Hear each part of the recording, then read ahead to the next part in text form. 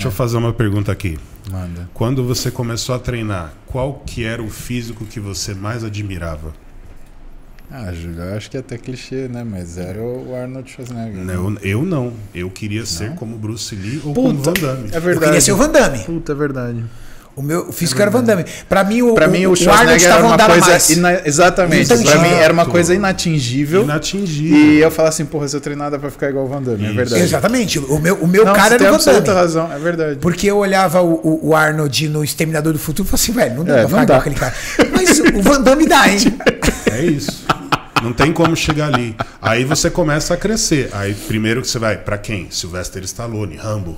Fato. Trincado. Trincado, Aí né? depois do Sylvester Stallone você começava a sonhar, né? Estão deixando a gente sonhar. Aí você começava a pensar no Arnold, naquela coisa que era inatingível. Dos anos 2000, a galera mirava num, num, num atleta fisiculturista, não, eu quero ficar com o físico do Vin Diesel.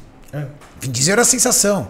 Hoje, The Rock, daquela época. Então, os caras têm um objetivo um pouco mais singelos. É verdade. É verdade. Então, por isso que eu, eu, eu- entendo, eu enxergo que a categoria wellness é uma categoria que apaixona as mulheres, porque as mulheres que estão envolvidas na alta performance da musculação já têm um físico mais desenvolvido. E o wellness versus a woman's physique?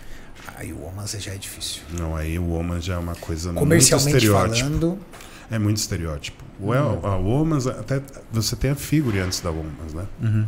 A Woman's seria o máximo da performance e agora voltaram com o fisiculturismo feminino de novo. Mas o fisiculturismo feminino ele só tem aceitação nos Estados Unidos por um grupo muito pequeno de fanáticos por Uhum. músculos. Mas ele não tem uma aceitação mundial, não adianta. comercial, né? Eu, tipo assim, Comercial. eu não, eu, assim, se você pegar um público de pessoas que não acompanham o fisiculturismo, não acompanham o fisiculturismo, 100 em 100 mulheres que você apresentar o físico da wellness, elas já vão ficar assustadas. Sim. Fato. 100 em 100 mulheres. Imagina você apresentar. Imagina apresentar o Womans. O Womans, cara, é a alta performance mesmo. É.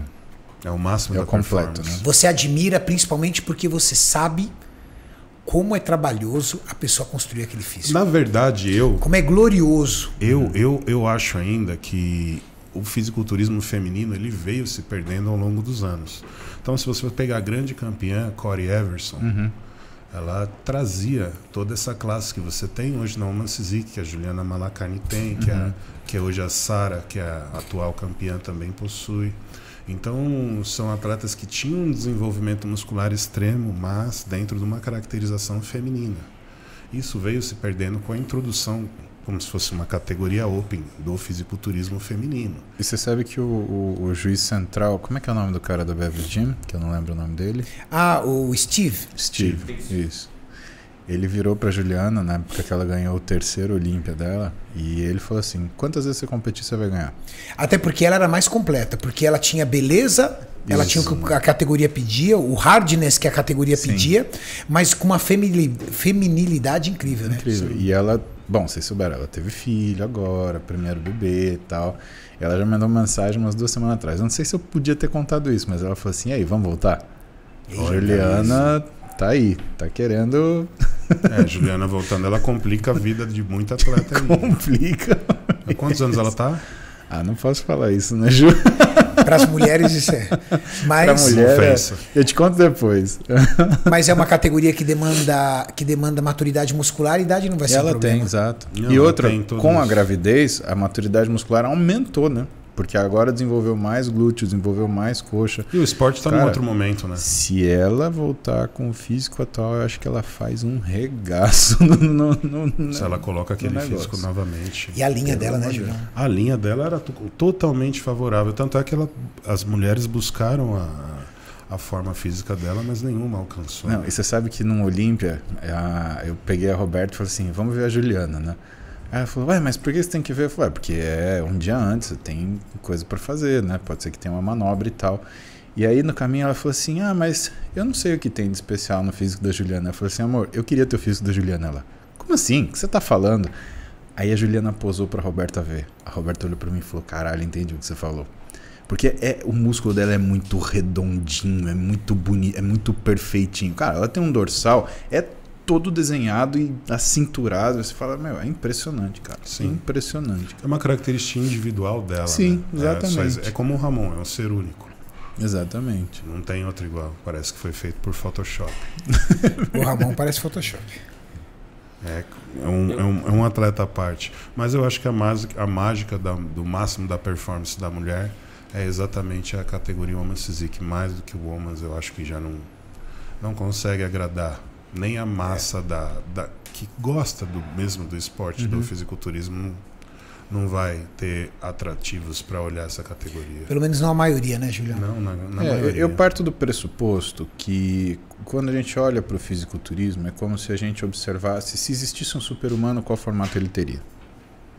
Então você tem super-homens e super-mulheres. Mas é, eu tenho minhas dúvidas. Para mim, eu tenho um sentimento misto e confuso quando eu vejo o fisiculturismo feminino, que é entre a admiração pelo esforço destas mulheres. Sim, Mas ao mesmo tempo, eu percebo que deixou de ser um físico de uma super-mulher. exato. O que eu encontro, por exemplo, na Women's Physique e na, na, na, na Wellness. Né? Que é Deixa o, de ser uma super mulher e acaba se transformando em algo que sai da naturalidade. Exatamente. Tanto a é que pediu quando pra é- mostrar a Juliana. Exato. Ah? É, a Juliana, meu. E olha o rosto dela, né? Toda a construção do físico da Juliana mostra que ela que tem ela do la, ela que tem as três fotos, ela de costas de frente. Pode ser essa. A, a- a da última, aquela é do isso. Essa daí é do último Olímpia que ela venceu. Clica aí. Será que dá para aumentar? Bom, tem algumas coisas que eu chamo a atenção para vocês que é o trabalho da Juliana, né? Então, coisas que são absolutamente delas e que a gente não observa nas outras ah, competidoras quando ela disputou, por exemplo, esse daí. Esse tônus que você vê no glúteo, a gente não via nas outras competidoras nessa, nessa competição. Esse formato do glúteo dela, em formato de losango, que junta o bico exatamente com os isquiotibiais, cara, você não via isso na competição. As meninas até tinham um dorsal Ela foi a primeira que apresentou. que isso. chegasse perto, elas não conseguiam ter glúteo. Então, quando as meninas andavam, cara, sem sacanagem, o bumbum das meninas era molinho. A Juliana era isso denso. Né? Essa musculatura do tendão conjunto da coxa. Então, o membro inferior dela é impecável. Outra coisa, barriga negativa. Então, essa barriga chapada que vocês estão vendo era também uma das, uma das uma- dos pontos fortes dela. Bom, ela é uma campeã, tricampeã, ela só tem ponto forte. E finalmente, quando a gente vai para dorsal, se você observa a dorsal, você tem uma separação muscular impressionante, com uma definição muscular impressionante, você bate o olho e você vê certinho o que é deltoide, o que é deltoide posterior, o que é redondo maior, o que é redondo menor, o que é grande dorsal, com esse trapézio que ao mesmo tempo onde ele é, né, é, extremamente pronunciado, ele não é uma coisa aberrante. Sim. Então é, é, é um físico lindo de ver. E, e eu te falo, cara, se fosse por assim, ah, você quer um físico estético, cara, eu, se eu tivesse o físico da Juliana, eu tava feliz, cara. Eu acho lindo esse físico. Pega ela no trono lá, Maurício. Não no trono da Aquela privada, foto, né? né? mas no trono, no trono de rainha. A Roberta ela achou que eu tivesse de sacanagem. Falando, meu. Não, e os movimentos dela lembram daquelas competições. Você lembra de que tinha competição, que tinha a coreografia, era uma coreografia de Sim. ginástica? É, porque ela veio do fitness. Ela né? veio exatamente. Então Veio tinha fitness. toda essa coisa de ginástica da apresentação dela. Isso. Essa foto é mitológica. Essa foto é. Se eu não me engano, essa foto tá na Ironberg. Acho que a gente tem essa foto na Ironberg, eu acho. Ela consegue ter massa e refletir, refletir muita feminilidade, o que, que é muito difícil hoje nas mulheres, né? Pois é. Eu estava até comentando com o Renato que lá na categoria figure, as meninas elas se esforçavam Olha muito foto para bonita. manter um desfile muito plástico, uma feminilidade durante as poses para poder manter a feminilidade ao máximo, né? Olha lá, ela fazendo uma, uma flexão de braço. Olha lá, Isso é tudo do routine. fitness, né? Sim. Isso tudo ela trouxe do fitness. Mauricião, chats and superchats. Fala pra mim aí o que, que a galera quer que a gente converse. Ô, Renato, antes, é, a galera. Seu retorno tá- não tá vindo, Mauricião. Vou, vou aumentar aqui pra vocês. Melhorou? Não. Nada. Donados. Esse retorno é zero. Donados. Vou falar aqui, a galera tá ouvindo aqui, mas eu vou aumentar aqui o retorno pra vocês. É o seguinte, a galera pediu pra colocar um vídeo aqui pra vocês, ó. Já que vocês falaram que vocês são fã do, fã do Van Damme, por isso daqui, ó. Vou colocar. Ele fazendo a dancinha. Aqui, ó. Não co- com qualquer um. Nada mais, nada menos. Ai, ai, ai, ai. Nossa, cara. Ele, a Gretchen e o Gugu, é? Pô, mas aí o Van Damme tava na época. Pelo amor de Deus, aí o Van Damme Aí tava, tava na, na época. época da, da, da, da, Ó, da aí- creatina. É É, vocês, creatina. vocês falam do. É Eu creatina. Queria ser que nem o Van Damme aí, ó. A cara- o cara do Van Damme é foda. Não, o Van Damme tá com aquela cara do tipo, por que eu vim pro Brasil, né, velho? O que, que eu vim ali fazer fazendo, aqui? tentando vim fazer a fazer dança aqui? do acasalamento pra Aí, ele. aí se liga, aí se liga, o Gugu vai chegar e vai falar no ouvido dela, quer ver, ó? Casa com ele. Casa com ele. Meu, cara, isso era o programa da família brasileira. Ele vai né, chegar e vai falar. Sábado. No- no vídeo cara, dele, a ó. gente assistia com nossas Rebola. mães isso aí, velho. Rebola nele. Aí, ó. Aí, Vai fazer um sanduíche, Van Damme, da- Van Damme fazendo um sanduíche. E depois fazia a disso não, banheira do. Gugu. O Gugu Vem não gosta cá. disso não, velho. Você viu que ele é um cara de respeito, né? é um cara de respeito. Cara de respeito. Ele sabia do que ele saiu O logo Van de Damme já tá na sacanagem já. E o Van Damme ele já tá... O Van Damme já, já tava armando o mastro ali. Falou assim: vem, filha, vem que eu vou te mostrar aqui. Bem quente. Não, mas o Van Damme aí tava só o fio da rabiola, gente. Era outro Van Damme. Coloca aí o grande dragão.